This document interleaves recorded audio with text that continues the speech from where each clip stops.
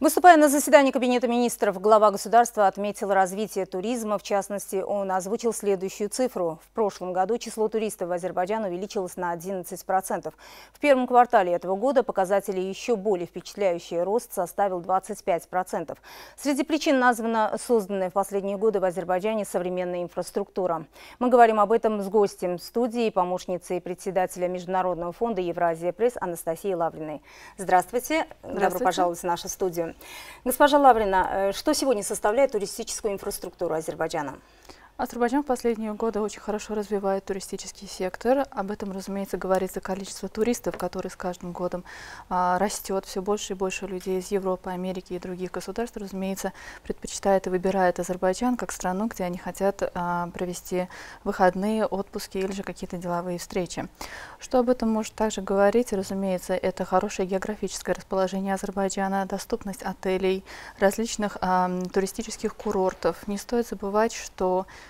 в Азербайджане очень много хороших горнолыжных курортов, которые не отличаются по качеству и доступности от европейских, допустим, курортов.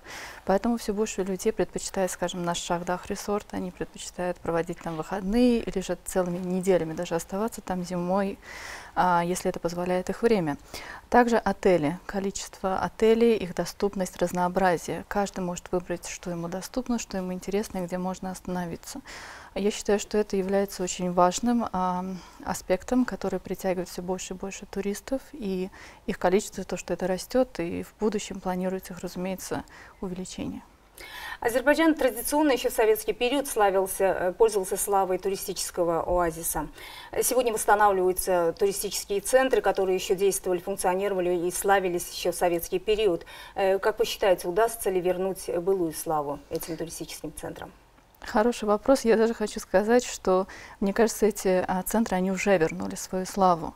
Я а, отслеживаю, разумеется, а, новости, что касается этой темы, и могу заметить, что количество желающих посетить, скажем, а, в то же время Нафталан а, в Азербайджане, их все больше и больше увеличивается.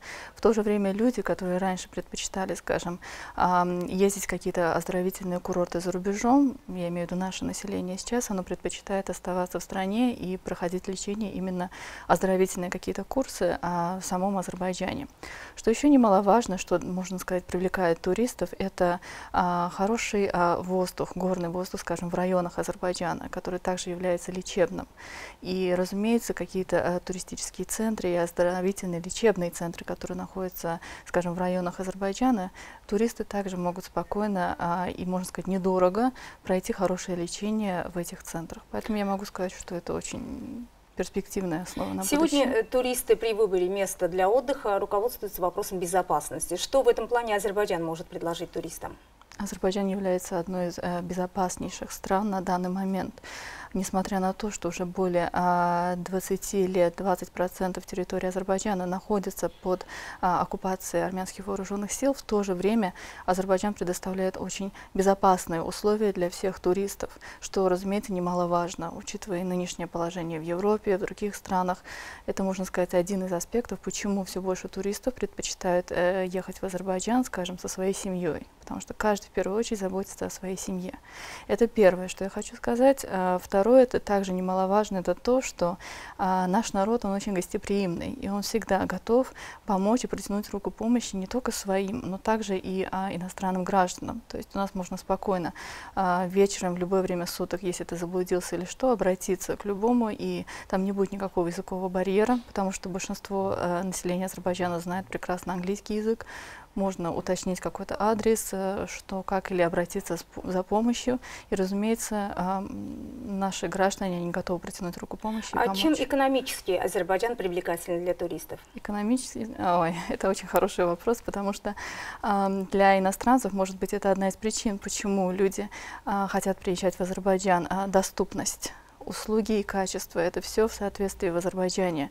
А, доступность отелей. Каждый может выбрать именно ту цену, которая им подходит. Э, курс доллара, курс евро для иностранцев, разумеется, это в Азербайджане. То есть э, за ту же самую цену, которую они едут в Азербайджане, возможно, в Европе они не смогут найти а, такие же условия, что касательно, имею, имею в виду именно что касательно материальной точки зрения.